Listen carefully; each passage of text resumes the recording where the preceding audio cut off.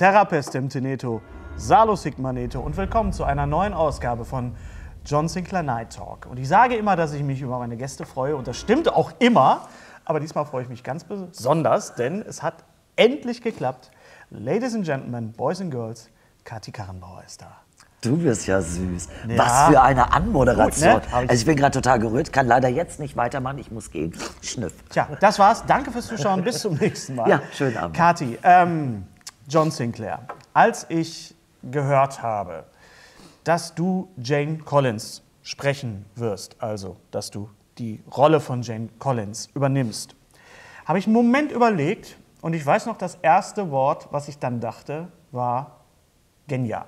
Weil es gibt eigentlich rückblickend ähm, ich weiß nicht, keine andere äh, Person, aber ich finde, du bist einfach die absolute Idealbesetzung für, also Jane Collins, nicht nur für Jane Collins, sondern auch, weil du trittst ja oder bist in sehr große Schuhstapfen, Fußstapfen sagt man, glaube ich, nicht Genau, Schuhstapfen. Schuhstapfen sind falsch. Fußstapfen, ist falsch, also Fußstapfen. Ja, ein sehr ganz Fußstapfen große. get, ge, getreten, nämlich in die von Franziska Pigula. Richtig.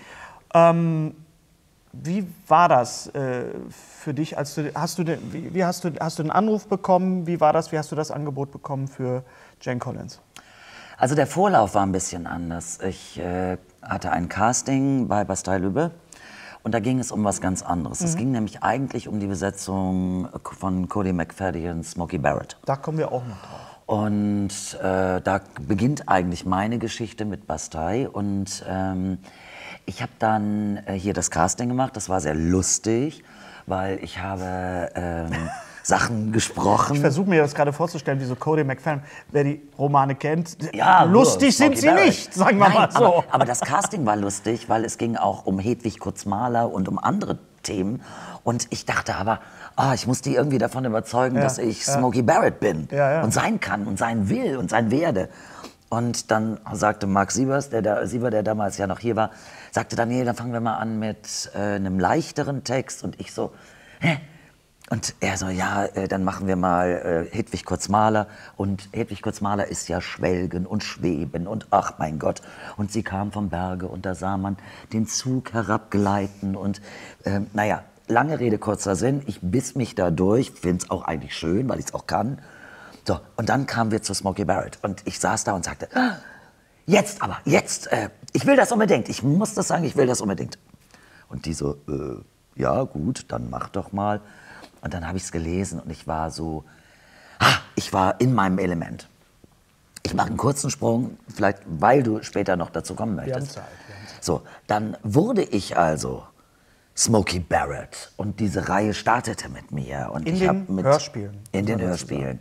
Und ich habe mit Douglas Welber zusammengearbeitet und es war ganz toll. Und in dieser Zeit, als wir in Hamburg aufgenommen haben, da ging es um eine Figur, eine Hexe in John Sinclair. Und ich kannte natürlich, weil ne, ganz lange in Köln gelebt, ich kannte natürlich die Sinclair-Reihe, ich kannte auch Dietmar Wunder und äh, Martin May, der ja ganz am Anfang von Hintergittern tatsächlich Folgen auch geschrieben hat für Hintergittern. Und dann dachte ich, wow, wie toll und so. Und das sind ja die wichtigen Figuren in Sinclair. Jetzt darf ich dabei sein. Und sprach eben diese Hexe. So, und äh, also Dennis machte Regie und das war alles toll und ich freute mich. In einem Hamburger Studio. So. Und dann kam die Geschichte um Franziska. Franziska Pigula kannte ich auch, eine sehr hochgeschätzte Kollegin, die ich immer ganz, ganz toll fand. Ich fand die Stimme immer toll, aber sie eben auch. Ja. Und wir mochten uns sehr. Und dann ähm, ging es darum, dass Franziska ja sehr krank war und nicht kommen konnte. Aber die Sinclair-Reihe ging natürlich weiter. Und ähm, man hatte ihr das angeboten, trotzdem weiter zu sprechen, aber es war nicht möglich, weil sie schon so schwer krank war. Und dann habe ich gesagt, ich finde es schön, wenn ihr sie fragt, ob sie einverstanden ist, dass ich das mache. Und ihr Mann ist dann, und ja, ihr Mann hat sie dann gefragt. Und sie hat ihr Okay dafür gegeben, dass Kathi Karrenbauer ihre Jane Collins übernimmt. Und das war nicht nur eine große Ehre, denn Franziska war eigentlich wirklich, ich muss das so sagen, auf dem Totenbett, hat sie entschieden, dass ich das sein darf. Und das war für mich wie ein Ritterschlag und ich war sehr dankbar. Und ähm, ich habe das dadurch natürlich auch versucht, mit sehr viel Würde zu übernehmen, obwohl ich die Figur kaum kannte. Und so bin ich dazu gekommen und ich freue mich, dass sie mir diese Aufgabe hat zukommen lassen mit ihrer Zustimmung. Puh, das ist äh, äh, emotionaler, als ich diesen äh, Talk eigentlich anfangen wollte, aber äh, das äh, ist ja quasi, wie wenn sie dir, die, wie nennt man das, die Staffel quasi Staffelstab übergeben hat. Das hat sie also gemacht. Die, die Flamme genau. von, von, von Jane Collins. Genau. Weil Franziska natürlich auch, äh, und ihr, ihr habt halt auch eine Ähnlichkeit gehabt äh, in, der, in der Stimme. Definitiv. Franziska hat ja auch diese etwas tiefere Stimme gehabt und sie war halt einfach auch so diese. Sie hat halt Jane geprägt über Jahre hinweg und äh, sie war ja auch die Sprecherin von Gillian Anderson, also von, von Scully in den Ja, ja. X-Files. Und das äh, ist natürlich jetzt auch äh, sehr, sehr schwierig, sich jetzt Sachen anzugucken von äh, Gillian Anderson, wenn man jetzt The Crown sieht, zum Beispiel, wenn sie die Ja, ganz andere Stimme, ne? Margaret ist- Thatcher spricht. Ich meine, das ist natürlich sowas, äh, ist natürlich, aber das war auch nie zur Diskussion, äh, stand nie zur Diskussion, dass du auch ihre Synchron-Sachen übernimmst. Weil Da ist, Synchron ich- machst du, glaube ich, nicht so oft. Doch, ich mache Auch, viel ja? Synchron. Ja, ja, ich Ja? mache ganz viel Synchron. Und vielleicht ist man damals nicht darauf gekommen, weil man gedacht hat, dann äh, verjüngt man vielleicht Ja. auch die Stimmen. Das könnte sein. Ich, vielleicht hat man, also die Stimme jetzt äh, von Miss Anderson ist ja nicht so, nicht, auch nicht ganz so tief. Ja, ja. Und vielleicht hat man da einfach über einen langen Zeitraum gedacht und hat gedacht, wir, Mhm. wir nehmen da eine jüngere Stimme. Ich weiß gar nicht, wer es spricht. Also man kam nicht auf mich. Mhm, Man kommt eher bei sehr schrägen, aber mittlerweile auch sehr schönen Projekten Was synchronisierst du oder was hast du synchronisiert? Also als letztes habe ich zum Beispiel, ähm, gab es ja die Geschichte Ella Fitzgerald. Und äh, da habe ich, äh, ja, Quatsch, Ella Fitzgerald sage ich jetzt. Aretha Franklin natürlich. Jennifer Hudson. Genau. Ja. Und äh, da habe ich die Mutter von, äh, von ihr gesprochen und ich habe äh, Penguin Bloom gemacht. Mhm. Da habe ich die Mayori Frau gesprochen, auch mit Gesang und so. Also ich habe schöne Projekte Mhm. und äh, freue mich da immer. Ich bin Ursula. Ich habe ein Casting gemacht für Ursula. Äh, Ariel, Ariel? also ich für, bin die, für die Realverfilmung jetzt? bin die, nee, nicht für die Realverfilmung, aber ich, wobei das weiß ich noch nicht, aber äh, ich bin die deutsche Stimme von Amerika aus abgesegnet und Deutschland von Ursula. Für die, äh, es äh, wird eine neue Serie geben oder, oder was ist das? All das weiß ich nicht. Okay. Aber ich kann Weil sagen, ja- weil- weil- Ursula tauchte mit einmal bei Mickey Mouse auf. Ah, so, weil Ursula wurde ja im Original, jetzt kommt der Synchron-Nerd, Ja. äh, ja gesprochen von Beate Hasenau. Genau. Die ja quasi auch so diese Tradition hatte. Absolut. Eine tiefe, Ja. angeraute, Genau, voluminöse, ganz tolle Stimme. Stimme. Ganz. Aber Beate ist natürlich nicht mehr unter uns, Ja. weit nicht mehr unter uns. Ja. Und ja, und dann ging es letztes Jahr darum, wer spricht Ursula. Mhm. Und dann wurde ich also abgesegnet. Was mich sehr gefreut Ist das hat. cool. Und ich habe so, mache so kleine Sachen wie zum Beispiel bei Luca, da spreche ich die Oma ganz am Ende Ah. und bin dann verliebt. Ich sitze dann davor, gucke mir das an und denke, oh, ist das schön. Und es gibt so eine Szene zum Beispiel, wo äh, die beiden sind ja Fische, also Ja. Luca ist ein Fisch und Oma ja auch. Und dann liegen Die Unterwasseroma. Genau, die Ja, ja, Unterwasseroma, aber auch die an Land Oma. Aber unter Wasser gibt es so eine Szene. Und dann äh, liegen die beiden da und schlafen eigentlich und sind so eingekuschelt in den Sand. Und dann sagt Luca irgendwie, Oma? Oma, Großmutter, Oma. Und du siehst so, hm? Und du denkst, die guckt so an die Wasseroberfläche von unten. Und der Oma, und dann, dann schnarcht die. Also die schläft mit offenen Augen. Und ich, ich habe mich weggepippit vor Lachen. Und das liebe ich. Das liebe ich an dem Job. Und jetzt, äh, das für mich ist auch gar kein Job, sondern ich werde manchmal geholt, so, hey, kannst du mal eben für zehn Takes, Ja. sind es leider nur. Und ich so, ja, ich komme.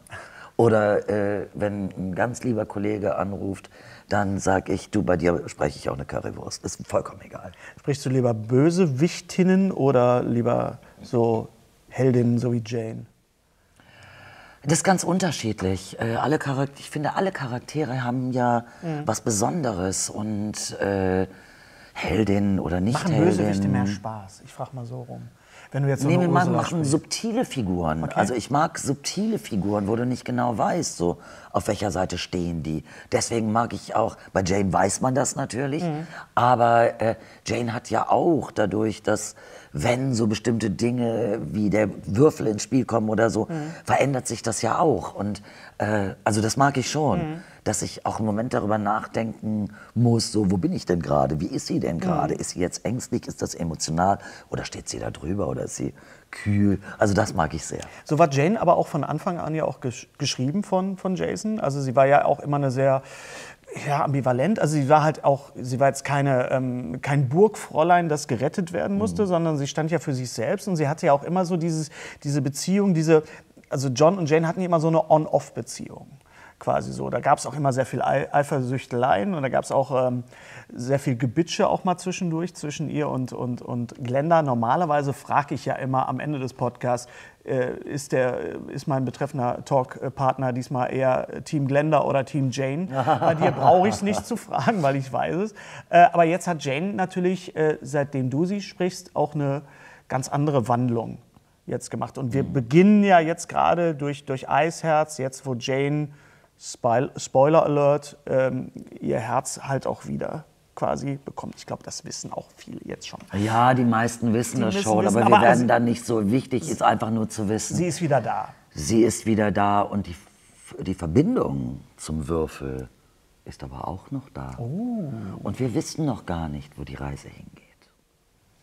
Weißt du denn schon ungefähr, wo es hingeht? Hast du irgendwie, hast, weil ich denke mal, so eine, so eine Sprechrolle, du bist ja Schauspielerin, du sprichst sie ja nicht nur, du spielst sie ja auch. Ähm, kann man da mehr reinlegen in, in so eine Figur, als wenn du jetzt so eine, so eine ähm, Rolle äh, im, im Fernsehen oder im Film spielen darfst?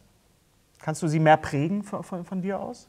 Also Jane ist ja in den letzten zwei Jahren nicht so häufig aufgetaucht, seien wir mal ganz ehrlich. Ja, ja. Also dadurch, dass sie kein Herz hatte. Und ich habe mich dann selber auch in den Reihen etwas vermisst. Wir alle. Und ähm, für mich ist der Einstieg immer sehr freudig. Äh, also als ich jetzt im Studio sein durfte. Und bin aber natürlich nicht nur durch die Pandemie, sondern auch sonst spricht ja jeder für sich. Also ich treffe dann leider Dietmar oder Martin und die anderen Kollegen nicht, sondern sitze dann mit Dennis, was mir große Freude bereitet und äh, versuche mich darauf einzulassen und auch zu hören, wie Dietmar das spricht, wie Martin das spricht, wie die anderen Kollegen, Erzähler und und und die Sachen äh, erzählen, sprechen, spielen und leben auch. Und das haben die anderen natürlich den Vorteil, dass sie das viel, viel öfter machen als ich. Und bei mir ist immer die große Hoffnung, dass ich, ähm, dass ich nicht störe.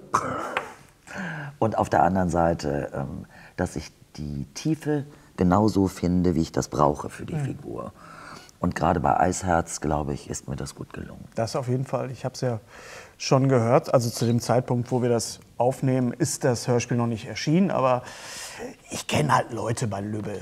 Deswegen durfte ich das schon hören. Du kennst Leute bei Lübbe? Ich kenne Leute bei Lübbe. Sag mal, wen kennst du denn Ich bei sag's dir Lübbe? nachher. Das ist psch, geheim. Aber hattest du denn. mir mal einen Kontakt. Ja, ich, ich höre gleich nach. Psch, da gucken Leute zu. Ähm, hoffentlich. Ähm, hattest du denn Sinclair vorher auf dem Schirm gehabt, eigentlich als. als äh, Als Begriff, Als ja. Begriff, ja. Also ich wusste Sinclair, der Geisterjäger. Ich äh, habe das nie gelesen, ich habe es auch nie gehört.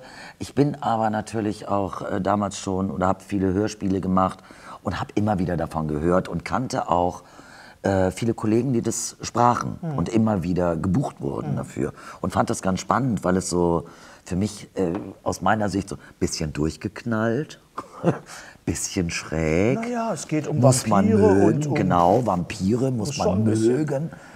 Ähm, man muss diese sehr, sehr äh, ausgefallenen Geschichten, das muss man mögen. Und ich war früher nie so ein Fantasy-Typ, bin das erst später geworden. Und jetzt macht es mir natürlich riesen Spaß. Und äh, ich habe gehört, meine Kollegen lesen nicht immer das ganze Buch, sondern nur ihre Figuren. Ich lese das ganze Buch. So, jetzt habt ihr das mal gehört. Warst du denn auch ein Hörspielkind? Oder, oder? Weil ich kenne sehr viele, man spricht ja immer von diesen Kassettenkindern und ich habe immer das Gefühl, das waren sehr oft Jungs. Ich kannte halt auch ein paar Mädchen bei mir in der Klasse, die Hörspiele gehört haben. Aber ähm, hast du da einen Bezug zu gehabt, zu Hörspielen? Ich hatte einen Kassettenrekorder, also relativ früh. Ich glaube, wir haben äh, Äh, Ich hätte jetzt gesagt Annette Blyton, also fünf Freunde oder sowas, aber das stimmt überhaupt nicht. Ich glaube, ich habe eher wenig gehört. Ich habe Radio gehört. Ich konnte zum Beispiel überhaupt nicht einschlafen, wenn nicht das Radio irgendwie dudelte. Aber du bist So. mit deiner Stimme doch durchaus öfter auch im, im Hörspiel oder im, im Hörbuchbereich äh, äh, gebucht worden. Ja, ja. Und, und jetzt halt gerade. nicht als Kind. Nicht als Kind. Aber jetzt äh, als Cody McFadden ist äh, Äh, Smokey Barrett. Smokey Barry. Ist das jetzt zu Ende eigentlich? Ist die Serie zu Ende oder geht Ja. es weiter? Also ähm, wir haben drei große, also drei ähm, Vertonungen gemacht. Und es gab die vierte. Und die vierte war ja immer so ein bisschen schwierig, auch schon als Buch. Cody McFadden hat ja äh, eine lange Zeit später erst dieses vierte Buch geschrieben, soweit ich mich erinnere. Und die Fans waren überhaupt nicht glücklich mit dieser Geschichte und mit dem Ausgang der Geschichte. Und wie Smokey Barrett, also diese Figur, sich verhält und ähm, was aus ihr wird. Und wir haben das nicht mehr vertont, Okay. wobei ich eben große Freude hatte und es nur jedem, der auch Sinclair mag, ans Herz legen kann, sich diese Reihe anzuhören. Denn es ist zwar brutal, aber das mögen die Fans ja auch. Und es ist aber wirklich eine ganz, ganz tolle Geschichte, so dass man sich graust, gruselt und dann so in diese, in die menschlichen Abgründe hineintauchen kann. Und wer das mag, ist bei Cody McFadden absolut richtig. Das ist schon harte Kost. Also dagegen ist Sinclair wirklich, äh, ich sag jetzt mal, easy listening ist vielleicht zu viel gesagt, aber Meinst Cody McFerrin ist, ist, ist, ist, ja, es ist, äh, es ist äh, für, für harte Nerven. Also, dass Ja. du die, die taffe, die harte Ermittlerin und so weiter spielen kannst, das wissen wir. Aber jetzt wirst du ja bei Sinclair natürlich auch diese ganze äh, ja, ich sag mal so, dieses Melodramatische, dieses Romantische. Es ist ja immer noch irgendwas zwischen John und Jane.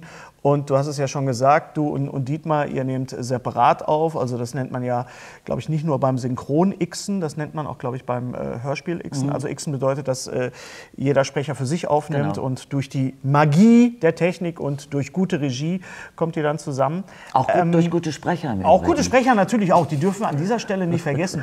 Wie schafft man es denn, äh, wie schafft man es denn da, so eine, da so ein Knistern zu erzeugen?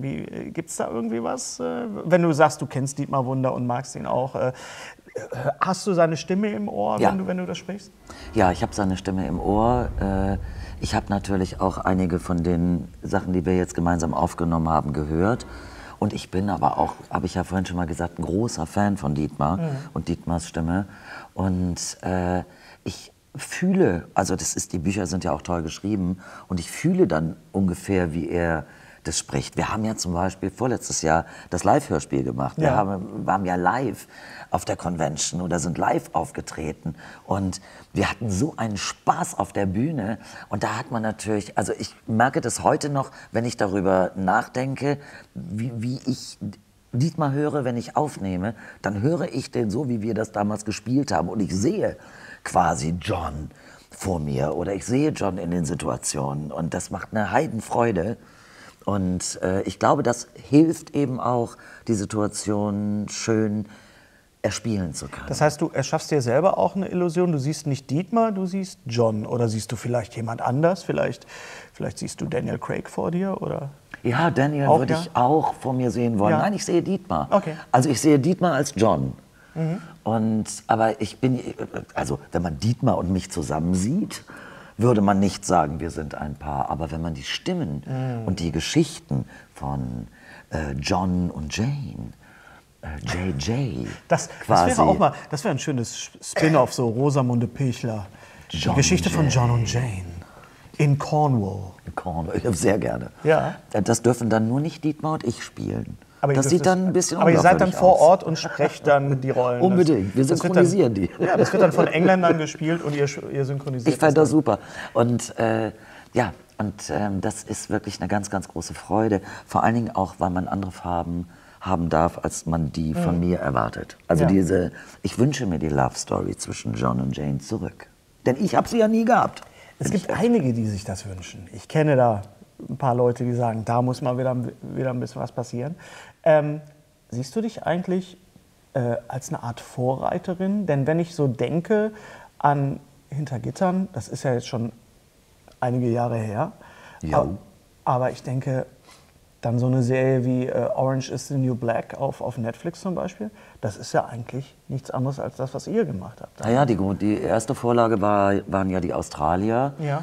Ähm, und auch Orange ist ja Nachfolger aus der australischen Serie, Mhm. jetzt nicht abgekupfert in Anführungsstrichen mit der Vorlage von Deutschland, sondern Mhm. der- alle haben ja bei den Australiern abgeguckt. Und äh, Orange ist eine tolle Serie, für die ich ja auch Werbung machen durfte. Das heißt also, ich habe ja im Originalset äh, in den Studios gedreht, tatsächlich Trailer für Deutschland, um die Staffeln hier zu bewerben. Und äh, beim ersten Mal 2016, Ende 2016 ging es leider nicht, weil meine Mutter eine Herz-OP hatte und ich hatte ihr versprochen, an ihrer Seite zu sein. Und der Drehzeitraum wäre genau in diesen Zeitraum gefallen. Dann habe ich gesagt, ich mache das nicht. Und dann haben, hat man in Deutschland ein Set nachgebaut, das fand ich so zauberhaft und liebevoll. Das war die Firma Granny und äh, die haben wirklich das Hintergitter-Set nachgebaut, um mich dort drehen zu lassen. Und ein Jahr später passte es dann aber und dann bin ich wirklich nach New York und habe mit den Originalkolleginnen gedreht und dieser, dieser Spot, den wir gedreht haben, der ist ja viral gegangen. Der hat ja, ich glaube, innerhalb von äh, vier, keine 24 Stunden wurde der über zweieinhalb Millionen Mal angeklickt und ist in Deutschland ziemlich durch die Decke gegangen. Jetzt muss ich mal Markus Lanz mäßig nachfragen. Kathi Karrenbauer, was macht das mit dir, wenn du so als, als quasi als Markenbotschafterin gefragt wirst? Markus, ich hätte mir gewünscht, Ja. dass Oh. man meine Qualität erkennt und mich in die nächste Staffel einbaut. Vielleicht wäre das sogar so gewesen. Aber es war wirklich die letzte Staffel, für die ich dann in New York diesen Trailer gedreht habe. Und ich bin traurig darüber, weil die Fans haben Orange is the New Black wirklich geliebt. Genauso wie sie hinter Gittern geliebt haben. Und hier muss man auch dazu sagen, für mich ist das zwar Vergangenheit, weit zurückliegend. 2006 haben wir, äh, im November 2006 haben wir aufgehört zu drehen. Das ist nun mal 15 Jahre her, fast 16 Jahre. Aber durch die ständigen Wiederholungen, äh, ja, man montags RTL Plus. Und ich dachte neulich, ich könnte endlich mal das Ende sehen. Das Ende, ich habe das, glaube ich, noch nie wirklich gesehen. Dachte, ja, okay, heute Abend guckst du mal fünf Folgen und dann den großen Showdown von Hintergittern. Da schalte ich an, da hatte ich einen Montag scheinbar verpasst und war schon wieder bei Folge drei. Also, es wird schon wieder wiederholt, weil die Fans einfach immer noch da sind. Und so sind auch so neue Generationen rangewachsen. Also, ich werde nächstes Jahr 60, sagen wir mal ganz ehrlich, und habe mit 34 angefangen, hinter Gittern zu drehen. Und jetzt ist so eine Generation da. Die Eltern haben damals geguckt, die Mütter vor allem. Ja, und jetzt kennen mich auch schon wieder die 6- bis 20-Jährigen. Und viele kennen dich natürlich auch aus Filmen, aus, aus internationalen Produktionen. Ja. Jetzt muss ich mal wieder den Markus äh, Lanz äh, machen. Ich habe mal mit äh, Götz Otto zusammen drehen dürfen. Und, Du? Ja, ich war sein, sein wir haben ein, auch? ein Pommes, ja, das, da, will Ah, ich ja. ja. da will ich drauf, da will ich Ah, drauf okay. pass auf. Ähm, wir haben ein, ein, ich war ein Pommesbudenbesitzer und er war mein Assistent, also ich war sein Chef. Was natürlich die Idee war, der Kleine und der Große und Götz und ich haben es sofort super verstanden und dann haben wir zwischendurch mal gesimst und er schrieb, äh, du, ich, ich drehe gerade mit den Wachowskis und Tom Hanks und Kathi Karrenbauer. Und ich so, was? Was machst du da? Er hat mir aber auch schon mal geschrieben, ich drehe gerade einen Film über Nazis auf dem Mond. Das habe ich ihm auch nicht geglaubt, das stimmte aber auch. Äh, und du bist tatsächlich zu sehen in Cloud Atlas. Ja, tatsächlich. Wie ist das passiert? Äh, Cloud Atlas, Tom Hanks, Susan Sarandon, Halle Berry, also da ist man gern dabei, kann ich sagen. Hugo Weaving. Hugo Weaving, Hugo, mein, den- da wäre ich jetzt gleich drauf gekommen. Okay. äh, ja, die Wachowskis natürlich, Tom Tick war. Äh, ich habe äh, ich hab zu dem Zeitpunkt in Trier, ähm, ich habe ja ganz, ganz viel Open Air auch gespielt und liebe das. Und die Trierer Festspiele, da habe ich äh, die Amazonenkönigin gespielt. Hippolyta und ähm, das waren dann immer so drei, vier Tage, aber so zwei, drei Wochen Proben. Und in dieser Probenzeit bekam ich die Anfrage für Ex-Woman. Und dann dachte ich, Ex-Woman, ja, was soll das sein? Und ähm, habe mir das dann angeguckt und es gab eigentlich auch nur zwei, drei Sätze auf Gälisch. Und dann habe ich gedacht, okay, hm, Tom Tick war, oh wow, alle Superstars dabei, würde ich gerne machen. Da ging es aber nur um das Casting. So. Und dann habe ich überlegt, wer kann denn jetzt Gälisch? Und äh, ich fand niemanden, der Gälisch kann, weil Gälisch, also irisch-Gälisch, ist echt eine Hausnummer. Da werden ganz, ganz viele Vokale und Laute weggelassen und so. Ich wollte es aber gut machen, also Casting, so. Und äh, dann habe ich gedacht, okay, Ex-Woman, ja, die wird nicht nur Scarface Ex-Woman sein, also so eine mit einer Narbe im Gesicht. von den Avengers oder so. Ja, von irgendwie, den keine. Ahnung. Also ich sah irgendwie Schwertkampf und Ja. da ich das ja gerade live auf der Bühne machte als Amazonenkönigin, habe ich dann meinen Kollegen Herkules dazu gebeten und wir haben tatsächlich einen, weil man von mir eben auch wusste, dass ich meine Stunts ja auch meistens selber machte bei Hintergittern, soweit das, soweit das möglich war. Also bis auf die harten Treppenstürze und unterm Auto mitgerissen werden und so machte ich vieles selber.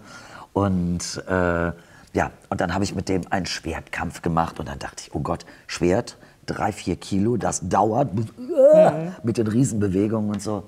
Dann dachte ich, oh, das ist ein bisschen langweilig, sieht auch aus, als wenn man jetzt hier gar nichts macht.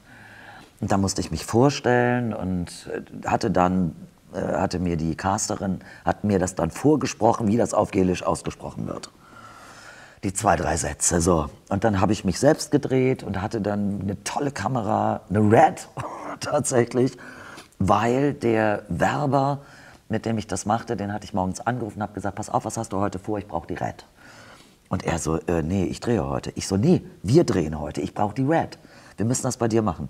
Nein, ich kann, ich habe keine Zeit. Ich so, ich sage nur, Tom Hanks, Susan Sarandon, Hal Berry, was sagst du jetzt? Und er so, okay, ich sag alles ab, du kriegst die Red. Und so drehte ich dann diesen kleinen Einspieler. Dein Jetzt eigenes komme Casting-Video ich, quasi. mein eigenes Ja. Casting-Video. Dann haben wir da Musik drunter gelegt, noch schnell. Dann musste das weggeschickt werden per MP3, wow und so. Und ich dachte, ich bin total am Start. Und dann sagte mir die Casterin, du, also pass auf, das wird dauern. Das dauert da immer sehr, sehr lange, bis entschieden wird. Rechne mal so mit drei, vier Wochen. Ich so, ja, okay, üblich.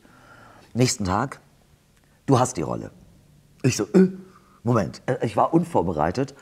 So, und das wiederum kam dadurch, dass man sich dieses Video überhaupt nicht angeguckt hat, sondern jetzt, es gibt äh, eine Stunt-Crew in Berlin, die das äh, machte und die wussten natürlich, was da zu drehen ist. Und zwar eine Riesenschlägerei. Und Michael, einer der Stuntleute, der war bei Hintergittern 20 Jahre gefühlt, aber eigentlich nur 10 Jahre, war mein Stuntman. Wir waren ähnlich groß, der machte alle Stunts, nicht nur für andere, sondern auch für mich. Und Michael hatte gesehen, dass ich auf der List war, auf der Casting-List und hatte sofort gesagt, die Karrenbauer macht das. So. Und jetzt kam ich nach Berlin und war äh, irgendwann waren, waren dann endlich so, ah ja, äh, die ersten Gespräche und dann traf ich auf Hugo Weaving und Jim Sturgis, die ich beide verehrte zu dem Zeitpunkt schon. Als großer Matrix-Fan natürlich, aber auch äh, Jim Sturgis. Ich liebe diesen Typ, weil der die Romantikkomödien natürlich mit Anne Hathaway und so, ne? zwei an einem Tag. Also, ah, I fell in love. So, und die dachten aber, glaube ich, ich wäre eine Stuntfrau. Also es war so, hey Katie, hey, hey Hugo, hey, wah, wah, wah. So, und dann äh, hieß es, die beiden gehen schon mal runter, sollten zum, äh, zum Set gefahren werden. Und, äh, also Wagenburg. Und dann so. Das äh, war in ich so- Babelsberg dann wahrscheinlich, ne? Bitte? War das in Babelsberg oder Nee, nee, nee. in Berlin? Nee, nee. Also, also unterschiedliche Orte. Okay, ja. Wir haben ja, ich habe mit denen zusammen in äh, Charlottenburg gedreht. Okay. Und die Wagenburg war da in der Nähe vom Funkturm und also zu dem Zeitpunkt. Und äh, ich werde es nie vergessen. Und die mussten auf mich warten. Also hier, das Training war in Babelsberg natürlich. Und dann haben wir so kleine Standproben gemacht. So, und dann hieß es irgendwie, nee, die warten auf dich. Und dann stand da unten ein Jaguar, schwarzer Jaguar, getönte Scheiben. Und diese beiden zauberhaften Kollegen, ich meine, Entschuldigung, wir reden hier von Weltstars, warteten auf mich. Ah, Katie, are you coming? So, und ich so, ja, sorry that you had to wait. Und äh, die so, nee, nee, überhaupt kein Problem und so, klar. Und jetzt gehen wir erstmal was essen. Und dann kam ich zu meinem Trailer, der war mindestens genauso groß wie der von den anderen. Und da sind die Amis einfach so weit vorne. Äh, du bist nicht irgendwer, auch wenn du nur eine kleine Rolle hast, sondern du wirst echt ziemlich gut behandelt, muss ich ganz ehrlich sagen. Ja, und dann hatte ich auch meinen Trailer und stand neben Hugo. Und als wir dann gedreht haben, ist mein, abs- meine absolute Lieblingsgeschichte, die darf ich heute mal erzählen. Äh, Hugo war morgens um 4 Uhr schon in der Maske, weil er spielte Nurse Noakes. Und das war eine Krankenschwester, also er spielte eine Frau in der Szene mit mir. Und dadurch, dass der morgens schon diese Gummimaske bekam und sich dann den ganzen Tag quasi gar nicht mehr bewegen durfte, äh, schwitzte natürlich auch. Und ähm, der liebte das zwischendurch mal zu rauchen. Jetzt reden wir ja nicht über pandemische Zeiten. Also wenn ich, rauche ja auch und rauche auch viel. Und ich rauchte und Hugo kam und sagte, hey Kelly. So, und ich so, ja klar. Und dann Zigarette gemeinsam geraucht. Und dann sagte er mit einmal, ich sage das jetzt mal auf Deutsch, er sagt, hey, spielst du eigentlich noch andere Rollen? Weil ja klar war, dass alle die Hauptfiguren spielten ja mindestens fünf oder sechs unterschiedliche Rollen. Das ist ein sehr, sehr, wer, nicht kennt, Cloud Atlas ist ein sehr, sehr, sehr komplexer Film. Sehr spannend. Galt lange als, als unverfilmbar, ist auch, glaube ich, über drei Stunden lang. Ja. Also es, man muss sich wirklich äh, die Zeit nehmen. Ich finde, es, es lohnt sich aber sehr, gerade durch weil, alle weil Zeiten und sehr alles- es schräg ist und so, verwogen. Ja, ja. Es ist Drei eher für, für Regisseure. Fortgeschrittene, Kino ja, für ist für Fortgeschrittene. Genau. Ist aber jetzt ein paar Mal schon gelaufen. Aber auf jeden Fall sagt er, dann äh, drehst du noch einen anderen und ich sag, nein, leider nicht. Und er so, what a shame. Hm. Und what a shame war so, ach wie schade. Ne, Ach, das ist ja, ach, wie doof.